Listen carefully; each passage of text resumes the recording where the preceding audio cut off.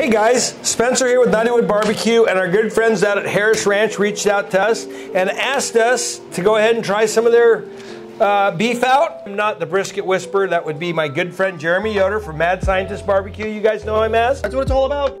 And Jeremy's here to show me and the rest of you how to trim a brisket properly. And then, contrary to tradition and Jeremy, I know this is gonna kill him, we're gonna use Knotty Rub just to see how it goes on brisket and we're gonna cook this brisket. We're gonna see how it turns out. So Jeremy? Sure, so we're gonna do a traditional Texas style trim, but we're gonna do an, a non-traditional seasoning on this. So this, uh, I have smelled these cattle before in the past. I have not ever cooked any Harris Ranch beef. So I'm not a, a loyalist to any brand, but I am a loyalist to quality. So let's pull this guy out, we'll shape it up and get it ready to go on the smoker. And all that's gonna be left is a trim.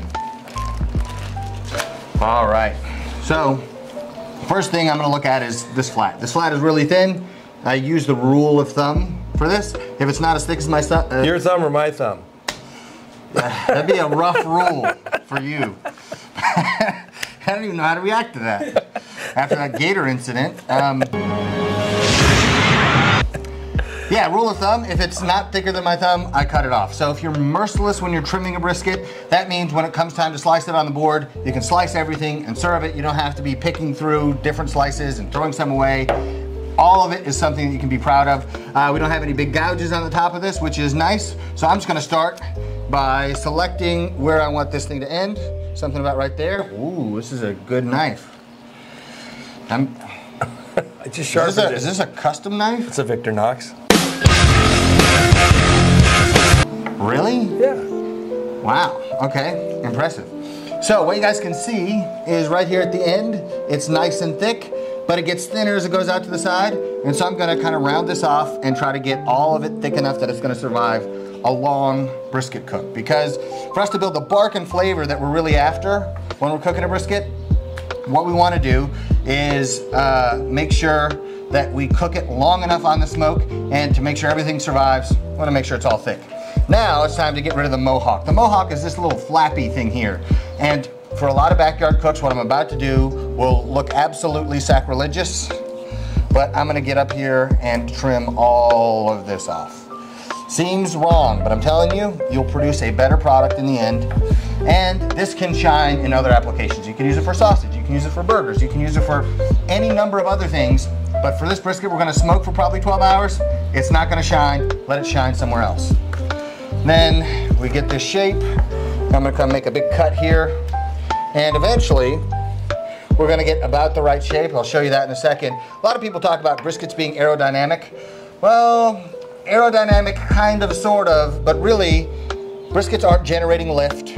What they're doing is they're cooking in a hot environment. So the more surface area you have, the more things are gonna dry out. So we're just trying to minimize surface area. We want long, smooth, round edges, so any kind of sharp corners, you're gonna wanna trim those and round them off so that it's not super exposed to the hot air while you're cooking, or the hot air when Spencer's talking. Either way, you wanna smooth it all out, and then you wanna trim the fat on the top, maybe about a quarter of an inch thick. So it doesn't have to Words of exact. wisdom, Jeremy. Words of wisdom, not hot air. She's shoving fun well I think you get a mix of both, but either way, it's a good time. Hanging out at the Knottywood Ranch is always fun, and the scenery is beautiful. Also, I'd recommend sticking your brisket in the freezer before you trim it up, because that way, all the fat is hard and you can cut right through it, and it doesn't get all gloopy, but it's all good. We'll try to get this nice and even, and we'll season it up. Hopefully by the end of this, this thing's gonna all kind of look black like a meteorite. So I just wanna check the end, make sure this fat's not too thick. And so apart from this little scalp that's kind of like the size of my index finger, I think we're looking pretty good. So, Spencer, Yes. how are you gonna season it up? I'm just gonna take Knotty Rub and I'm gonna liberally put it on there. And that's it. Pretty simple. So yeah, so we're just gonna, And I think the sugar in here is gonna help the bark too. yeah. Yeah, so you'll have a lot of flavor on the outside, plus add the smoke flavor, plus add the beef flavor. So I have a feeling it's gonna be good.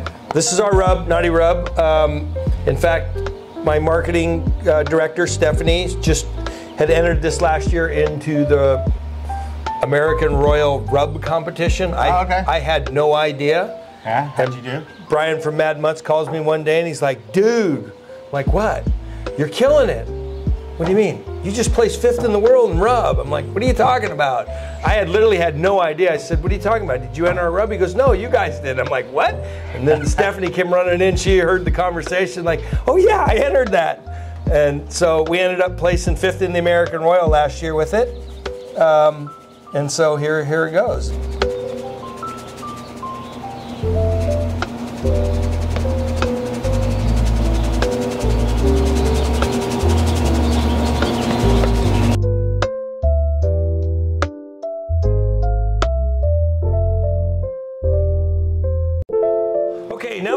Seasoned up, we're gonna let this sit because of, I'm gonna put this on late tonight, about midnight, so that we can have this for lunch tomorrow. It's a small brisket, so it's not gonna take 14 hours. I think this thing will be done in eight hours, something like that. Probably. So if I go on it anywhere from 10 to midnight, we get it cooked, we'll get it off, we'll let it rest for four, three or four hours, and it'll be ready to serve at lunch. And it ought to be fantastic. So we'll see you in the morning. What you guys don't know is that uh, Spencer is a very early riser. So sometimes when I'm in Kentucky Eastern time, I'll get a call at like 6:30 in the morning. I'm like, what? It's 3:30 in California. Why is this guy awake? But uh, yeah, so you're gonna check on it early in the morning. You're gonna wrap it in anything. You're just gonna go unwrap the whole time. I think I'm gonna go unwrap the whole time and see what happens. All right? I like it. So I'll be here tomorrow, and we can eat this together. There you go. Awesome. We'll see you in the morning.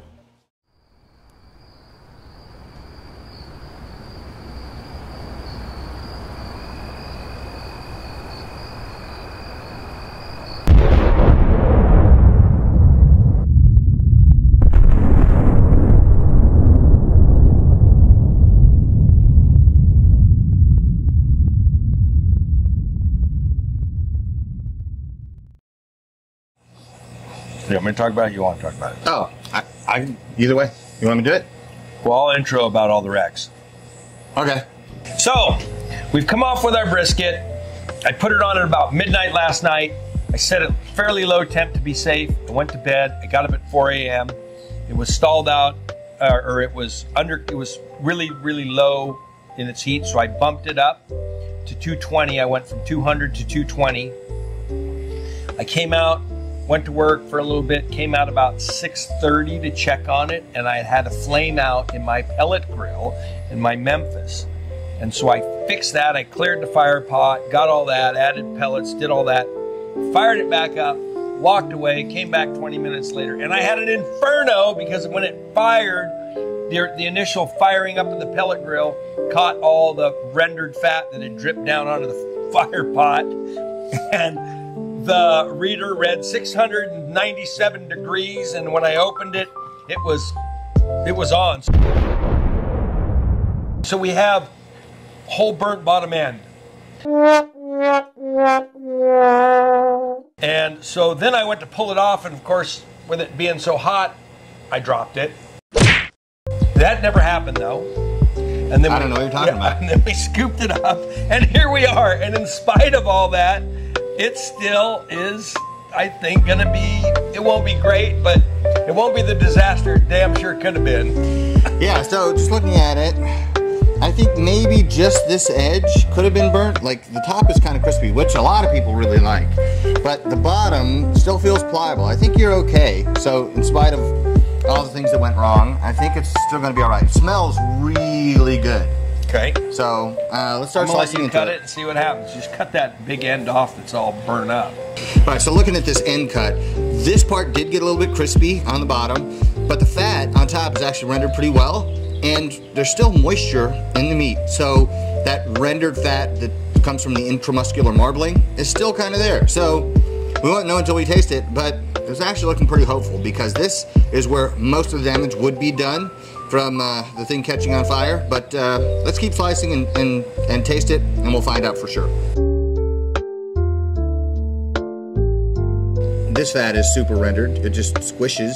The fat on top is rendered really well.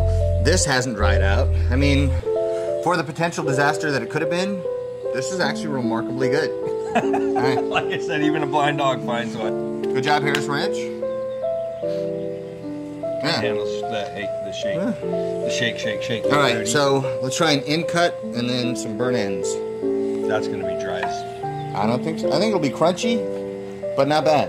So there you go. I'll clean this guy up. What do you think? Well, it's not bad. A little bit dry. So we'll try this guy. All right, I'm gonna try this end cut. I mean, it really doesn't look that bad. I mean, compared to when you told me what happened, I was expecting you were just gonna have a big piece of charcoal and have to chip away at it. Let me tell you what, my eyes were pretty big when I saw them smoke and flames. I don't know. That's maybe exactly what happened to this. maybe it's just a sign, like you know, you've gotten your brisket will The be good brisket today. gods were Yeah, in were, your favor. were shining on me. Yeah, I mean, it's actually remarkably good. Awesome. All right, so we discovered Harris Ranch beef. Good stuff. Knotty Wood rub. Well, it's it's just called Knotty Rub, right? Yep, naughty rub. Naughty Always rub. a happy ending. Yeah. also good, even on beef. But uh, yeah, I mean, excellent job, I guess. Kind of. No, Way to be lucky. really. There we go. Just Way to be lucky. lucky. Just lucky. let's, let's let's be honest here. It was this was just dumb luck.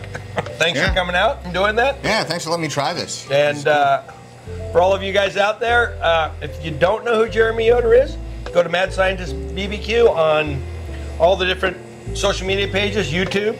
And if you really wanted to learn how to do this, he's your guy. We appreciate him coming out and being a friend of Knotty Wood. And uh, like he said, we don't have a professional relationship where we just happen to be two guys who happen to have a lot of common interests and hit it off. And we like hanging out and barbecuing and shooting guns and doing fun stuff. So, you guys all out there? Yeah, so um, make sure to follow Spencer Knotty Wood on, on Instagram, TikTok, and everywhere. Knotty Wood BBQ. Um, but yeah, so it's just it's always a pleasure to be out here. We get to do fun stuff, and if I suggest let's uh, cook a brisket for 24 hours and not touch it, you're like, all right, let's do it. So just a great time. And if I suggest let's try and wreck a brisket, you're like, okay, let's do it. Yeah, why not? Yeah. So, all right, happy grilling.